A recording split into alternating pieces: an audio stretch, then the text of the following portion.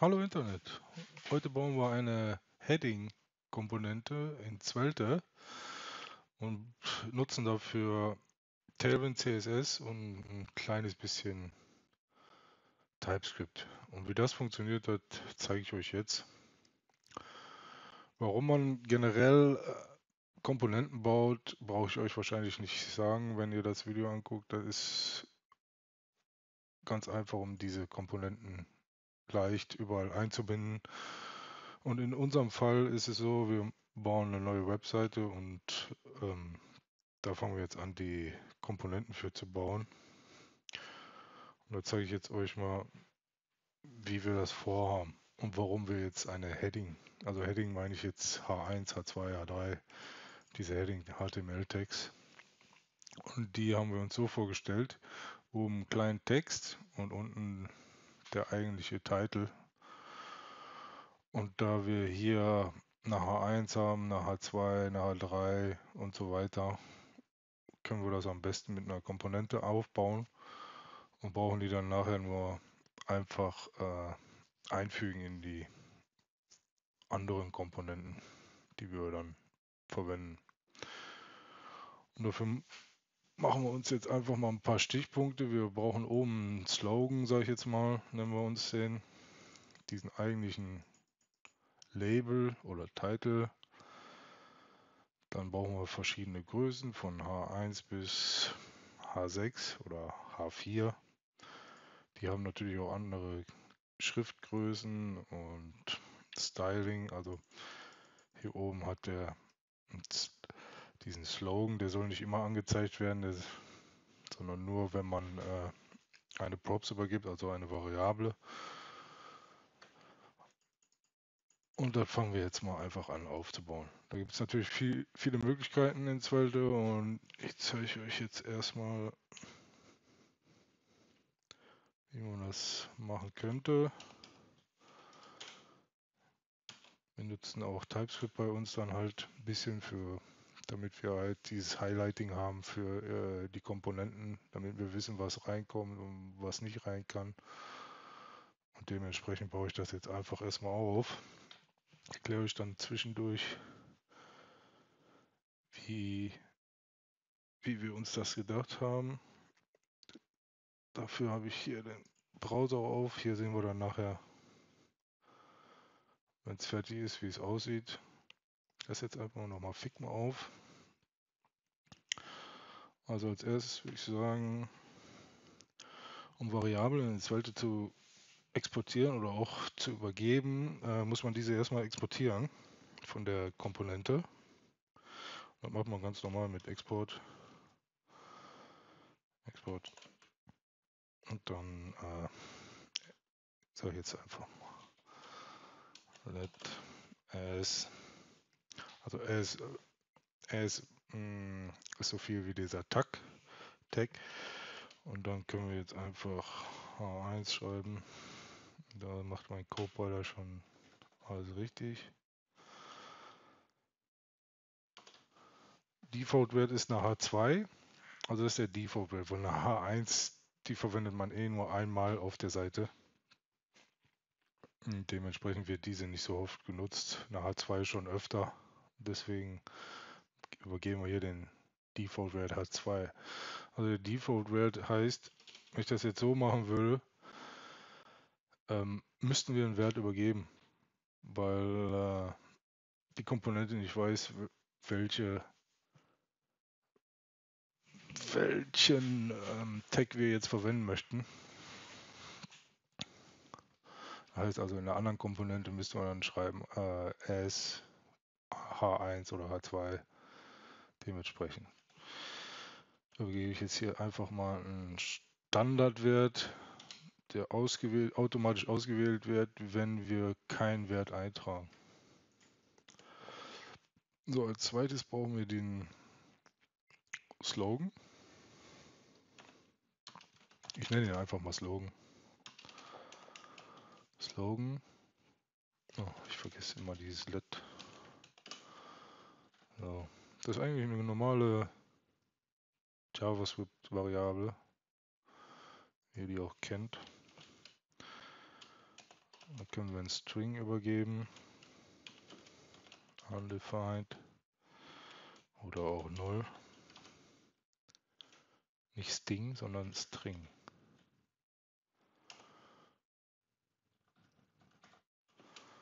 Und hier setzen wir den Standardwert auf leer.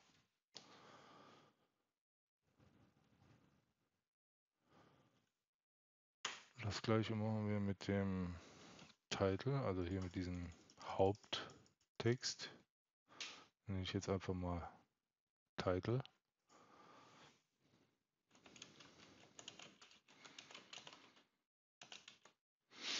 Und da kommt das gleich, oh, da ist perfekt.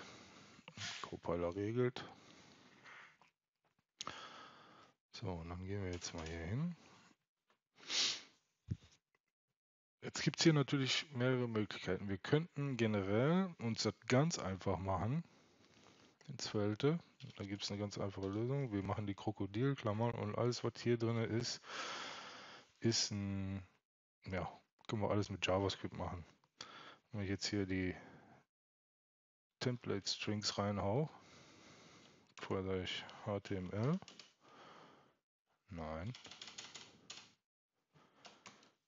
HTML, dann rendert Zwelte uns das direkt als HTML-Tag. Ah ja, und da seht ihr schon das Copilot hier schon. Ich mache mal Copilot aus.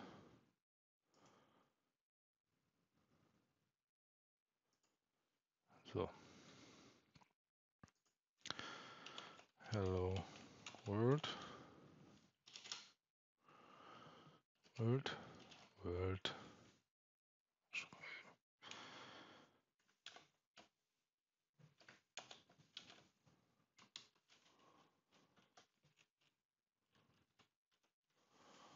So einfach könnte man das jetzt theoretisch schon machen. Title muss nicht übergeben werden. Ein Slogan auch nicht. Ich möchte nachher mit Slots arbeiten. Deshalb lasse ich das jetzt einfach mal so. Ich kopiere euch da einmal aus und zeige euch, was das Ganze macht. Hello World, es wird am Ende wird nur Hello World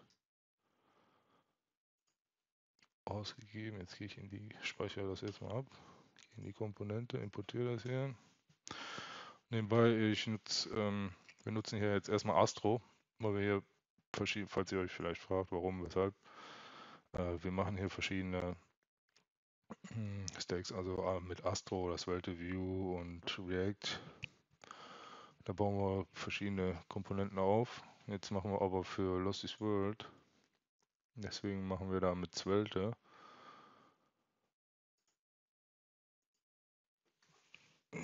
damit ihr euch nicht fragt, warum benutzt ihr denn jetzt Astro. So, mal Heading. Da, da wird es mir auch schon angezeigt. Oder einbinden. So, wenn ich jetzt äh, in VS Code Control und Space drücke, wird mir schon direkt angezeigt hier, was ich rein, reinfügen kann. Wir wollen diese as H2 ist normal. Und wir machen erstmal normal. So, jetzt müsst ihr eine H2 ausgeben, da wir die ja als Standardwert haben, mit Hello World. Ich das jetzt abspeichere.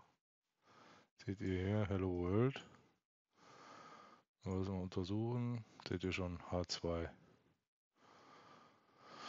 So, da habt ihr aber diesen HTML-Tag Start und End und generell ist das ja immer so eine Sache mit dem HTML-Tag, äh, HTML äh, so rendern, je nachdem, wo wir das verbrauchen, ist das nicht so, nicht so vom Vorteil.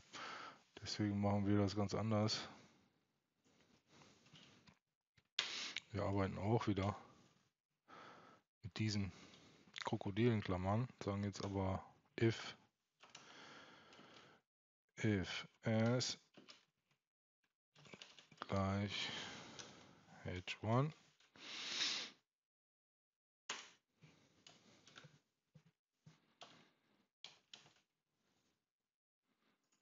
fügen hier jetzt halt unser H1 rein. So, und jetzt können wir damit arbeiten. Wenn wir jetzt sagen Title, ich das jetzt mal abspeichere, hat da bestimmt klar in dem hier. Aber jetzt können wir schon hingehen und sagen Title. Ihr seht halt gar kein Text hier. Wenn ich jetzt sage Title und hier Hello World eingebe,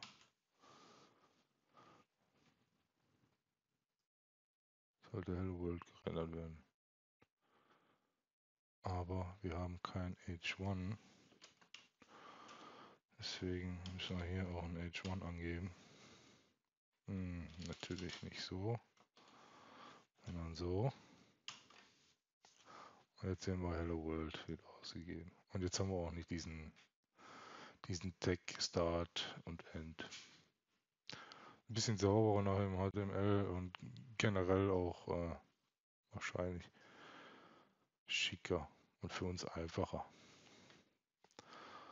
Dann machen wir mal weiter.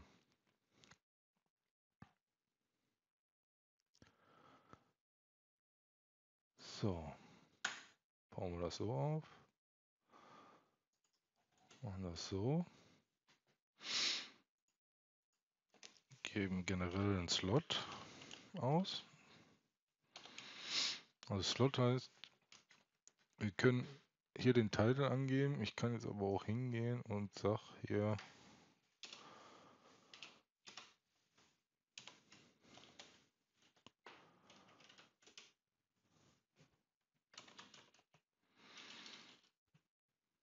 Span.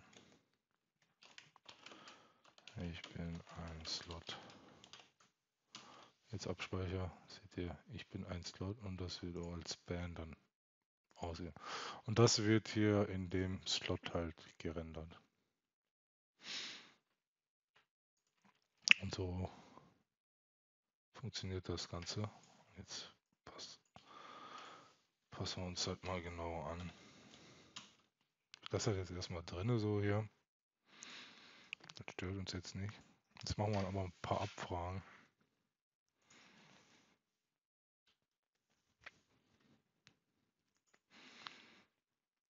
können auch undefined. Undefined. Und hier machen wir auch undefined. Undefined. So, dann können wir ganz einfach abfragen. Wenn uns der Slogan oder der Titel übergeben wurde, dann render das. Ansonsten verwende einfach den Slot oder lass den Tag leer. Und das machen wir auch wieder mit einer if-Frage. If Slogan, da wir den ja oben haben wollten, packen wir den auch als erstes rein. Wo haben wir dich? Da.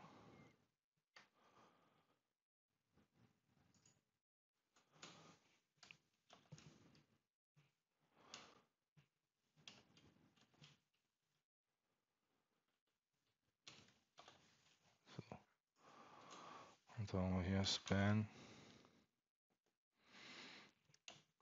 und Slogan. So, und jetzt sind die Error Messages auch schon weg. Und die können wir jetzt natürlich stylen, wie wir möchten.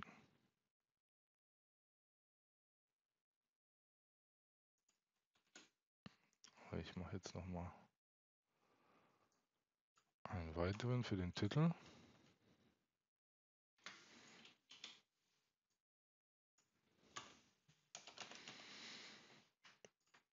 Title. So.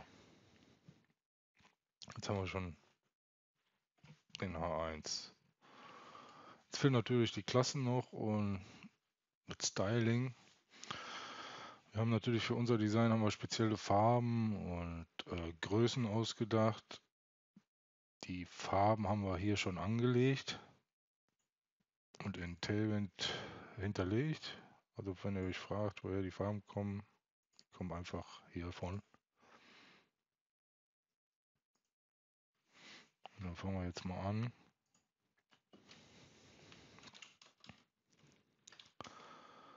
Class.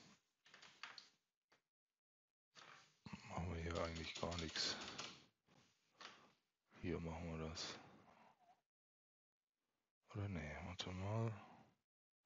Wir müssen auch noch, das müssen wir auch noch haben. Wir haben hier, sagen wir mal, eine H2 mit dem Slogan. Die hat eine ganz andere Größe als, ich sage jetzt mal, das ist auch eine H2. Die ist aber viel kleiner. Dementsprechend nennen wir das äh, Display. As Display. Und das wird dann Boolean. Dann machen wir hier nochmal Export let as display. Dann weiß man, oh, okay. Oder wir machen das ganz anders. Wir machen das ganz anders. Wir gucken, sobald der Slogan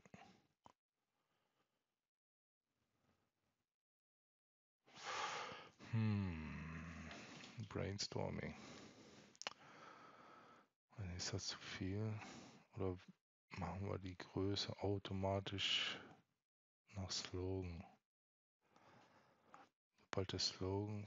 Wir gucken erstmal so, ich mache das halt erstmal so. Und dann sagen wir hier Class. Also wir wissen generell, wir haben diese Farbe, wir wollen Uppercase haben, wir wollen immer diese zwei Zeichen hier davor haben. Das können wir schon mal alles machen. Das wird dann so. Leerzeichen, Class und das Text to Keys. Uppercase. Uppercase. Text. Die Größe wird 20 Pixel. Da muss ich jetzt einmal gucken. 20 XL ist 20, okay.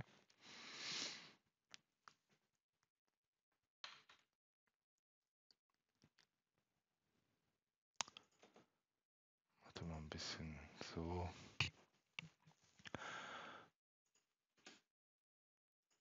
So, da ist, da ist ein bisschen Brainstorming. Ah. Entweder gehen wir Display aus oder Slogan, dann wird er aber generell. Ja, so machen wir. Wir machen das so. Machen ohne Display, glaube ich. So, dann machen wir, haben wir das, richtig? Schauen wir einfach mal. Slogan. Slogan machen wir jetzt einfach mal Design and Development. Speichern das ab. Hier wieder Browser. Ah, okay, da sehen wir schon. Das sollte auch ein Block sein. So, damit das in die neue Reihe rutscht. Und jetzt können wir gucken if slogan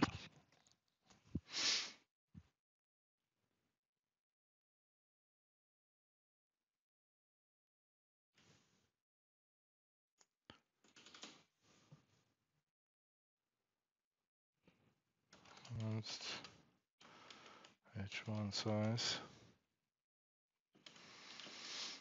Gleich. Slogan.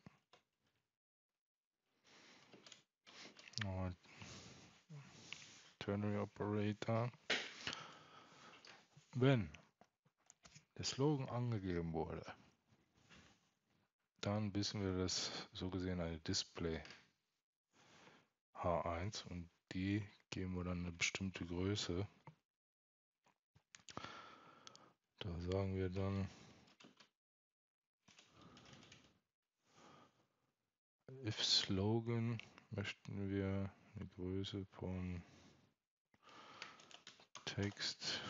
Jetzt muss ich bei Tailwind mal eben gucken. Font Size. Was haben wir hier? 5XL.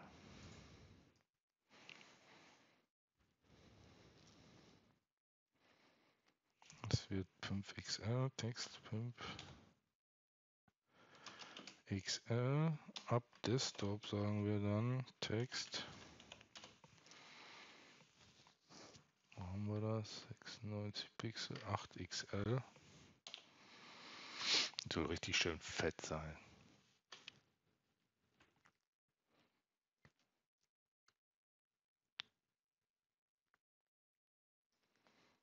Ja.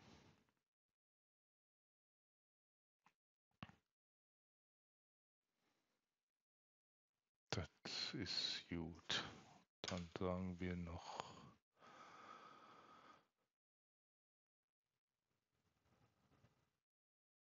wenn kein Slogan hat, dann gib uns die normale Größe aus. Und die sollte 40 sein.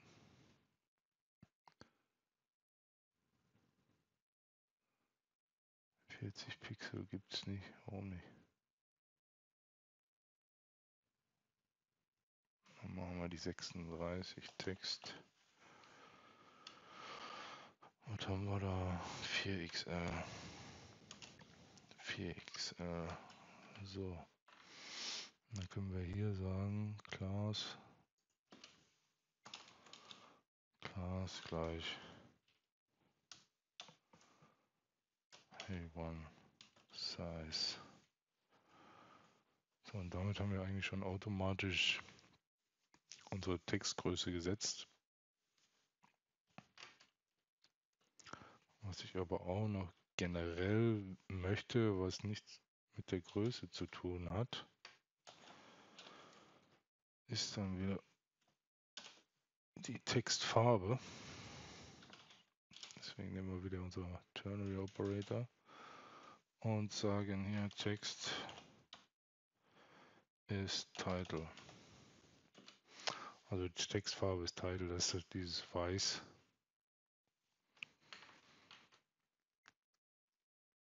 plus das. Und dann sind wir eigentlich damit durch. Wenn ich jetzt hingehe, seht ihr schon, ah, von Bold und Bo Bold. So. Die sollte aber nicht da sein. Font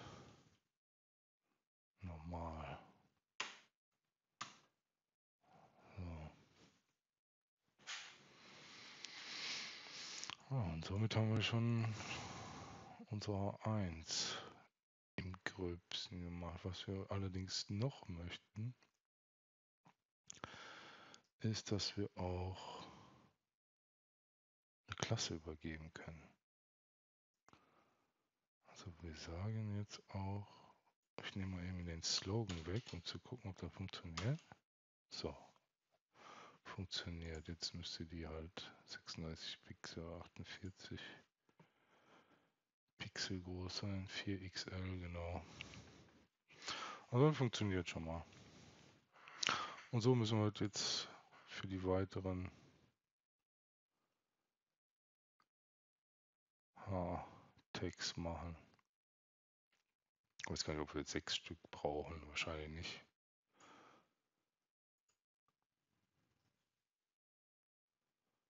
Nur eins. Dann mache ich jetzt den schnell. Und dann sehen wir uns gleich wieder.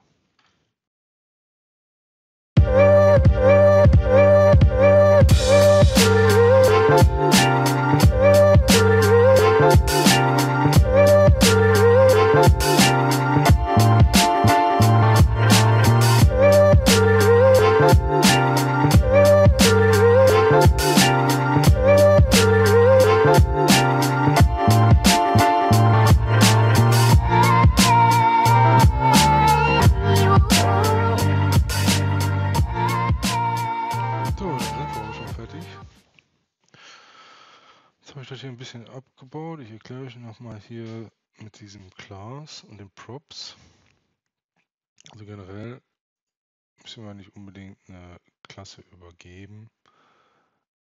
Also die wird auch gar nicht hier erst angezeigt, wie ihr seht im Highlighting. Und das sind, das sind so die versteckten Props, sage ich jetzt mal. Und die können wir hier ins Zwelte mit Dollar Dollar Props aufrufen. Da kann man auch noch die Slots nehmen, wenn man zum Beispiel Named Slots hat oder so, könnte man jetzt hier zum Beispiel Dollar Dollar Slots und dann den äh, Slotname und dementsprechend den Slot äh, rendern mit dieser if-Abfrage. Also einen fertigen, den man schon hat. Und so funktioniert das. Und äh, ich hoffe, es hat euch gefallen. Wir können auch mal drüber schauen, wenn wir jetzt sagen Slogan. Wir nochmal Design and Development. Dann sieht das so aus. Die Font selber ist jetzt die Standardfont, da ist jetzt nichts gemacht. Aber wenn ich jetzt hier hingehe und sage H2, dann sieht das wieder so aus. Ja, H3 hat dann gar keinen Zogen, der hat dann gar keinen.